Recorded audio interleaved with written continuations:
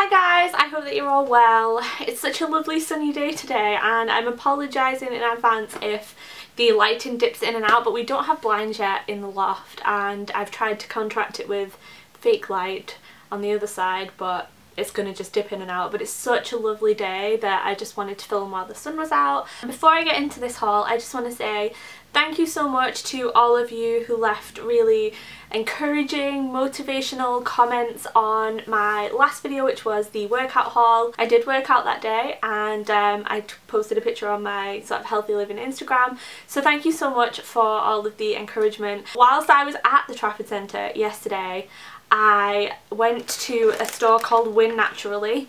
I didn't get a whole lot but I got a few things so I thought I would just share them with you in this haul just to let you guys know who live in the northwest that this shop is there because I have been wanting to go there for quite a while. My friend Caroline actually tweeted about this store um, and I was really really excited to go because they stock Quest bars which are protein bars that I really like and they're really difficult to get hold of in the UK and so I wanted to go and just check out the other things that they had. I didn't get any Quest bars because I still have a couple in my house and I didn't really need any but yeah, I decided to just go and check out the other offerings that they had because if they have Quest bars then the stock must be good. So like I said it's called Win Naturally and it is downstairs in the Trafford Centre towards the Debenhams end. So that's kind of like below Lush like in that kind of area that's where the store is. And they do have a website called winnaturally.com so I'm sure you'll be able to order online in the UK I'm not sure about overseas but I was really excited to go and I'd seen on their website that they stocked quinoa pasta and things like that. So I'm going to dig into my bag and show you what I got. Um, the first thing that I picked up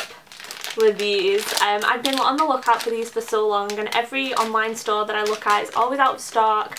They're really difficult to come by um, and in person at least for me. So I decided to just go ahead and pick these up. They are the Freedom Mallows um, which are just marshmallows but they're basically vegetarian marshmallows because if you didn't know veget um, vegetarians can't eat marshmallows and they're one of the things that I never used to eat marshmallows, okay? Before I became vegetarian, never ate a marshmallow, really didn't enjoy them, didn't like flumps, but now that I know I can't eat them, as an adult when I get a hot chocolate I just feel so victimised I can't have marshmallows on top. So yeah, they're full of sugar and they're not necessarily the healthiest thing, but I was just so excited to find vegetarian marshmallows that I picked these up. Yeah, full of sugar but vegetarian. I can finally have like a decadent hot chocolate if I want one. Um, the next thing that I got are these quinoa chips. I picked these up because I thought they just looked interesting. This stuff is not necessarily like the healthiest of foods because you know anything like fruits and vegetables and lentils and beans and all the stuff other stuff that they sell I get anyway and I have it in at home but they're just different things to try so these are the quinoa chips they are vegan, um, they don't have any gluten or wheat in them um, which is why I wanted to try these just because I was just interested to know what a quinoa chip would taste like basically. I have been incorporating a lot more gluten-free things into my diet since the beginning of the year but I didn't really say anything on my channel because everybody's got their own opinion on you know gluten-free and whether you should go gluten-free or not. I definitely don't think it's essential for everybody um, and a lot of people get a bit angry when people who don't need to be gluten-free eat gluten-free and I get that because it sort of trivializes things. I know a lot of people who actually can't eat gluten and my friend is one of them get very very intense stomach cramps you know you can have intestinal bleeding it can be really really debilitating and I just choose not to eat gluten regularly. And so maybe people don't take those people seriously. And I totally understand that. But I did do some reading over the Christmas break about gluten and wheat. And I personally am just interested in trying it because there is a link between uh, PCOS and insulin resistance which I am insulin resistant. And the potential by cutting out gluten you know to to alleviate that. Anything I can do to help my PCOS I will. But also just because it makes me feel a bit better. Um, but I have eaten gluten a few times since I've read about it. Um, I think I was gluten free properly for about a month and a half and then I got hormonal and I ordered a pizza, it happens. Um, and also when I've been out there haven't been gluten-free vegetarian options so I've had gluten a couple of times but literally like maybe five or six times I've, I've eaten it. Other than that I've been experimenting with different types of flours and different things and I've really been enjoying just experimenting because it makes me use different things as well. Um, Anyway, that was a big rant, ramble, but basically I've just been incorporating more gluten-free products into my life. So usually I don't buy the packaged gluten-free stuff just because uh, a lot of the stuff that they put in the packaged gluten-free stuff is actually just as um, spiking to your blood sugar which is the reason that I would be choosing not to, to eat gluten. Um, you know, if you are gluten intolerant because it makes you ill, then you might want to eat those. But for me, it's about keeping my blood sugar stable, so there's not really much point. But every now and again, it's nice to just be able to have something that you, you crave. So anyway, off on a tangent, but these quinoa chips um, are sun-dried tomato and roasted garlic, and they look a lot like the Walker Sun Bites.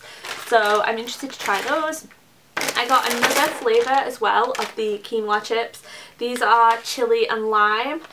Um, chili and lime is like my favourite combination of two flavours so that should be really nice and yeah these were about 50p so you know not bad um, the vegetarian marshmallows are like £2 for a little small bag but it's going to be so worth it when I have that hot chocolate. And the next thing that I got was this um, organic rice quinoa fusilli and I am not a huge pasta lover. I'm not really that bothered about pasta to be honest. I don't crave it ever.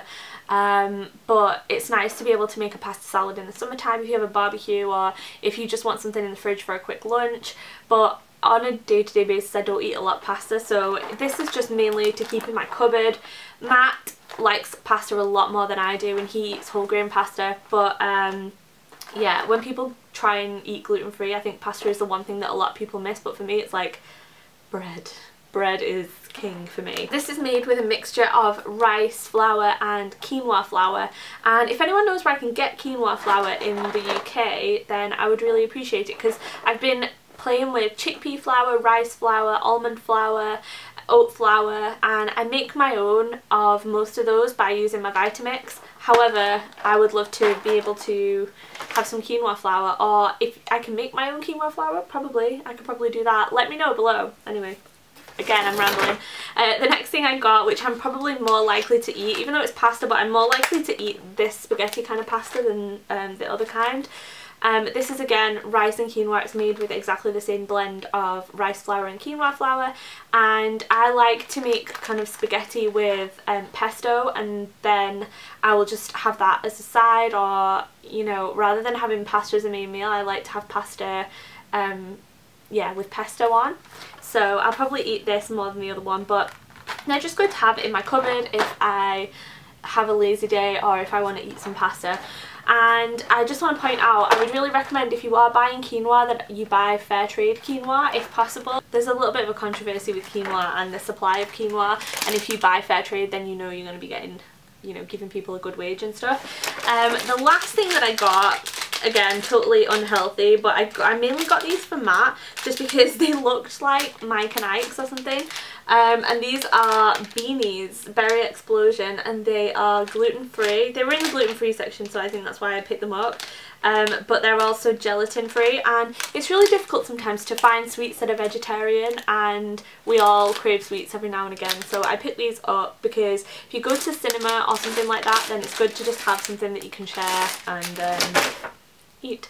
So yeah, maybe not the healthiest um, basket, but uh, if you are looking for alternative ingredients or if you are vegetarian or you know, gluten intolerant or whatever, then you might actually find this shop or the website really helpful. Um, it's quite small but they do have quite a lot of stock and the staff were you know helpful and things like that. The only thing I was a bit disappointed in I really really wanted to get some liquid stevia in person um, but they didn't have any liquid stevia so I'm to have to order that online.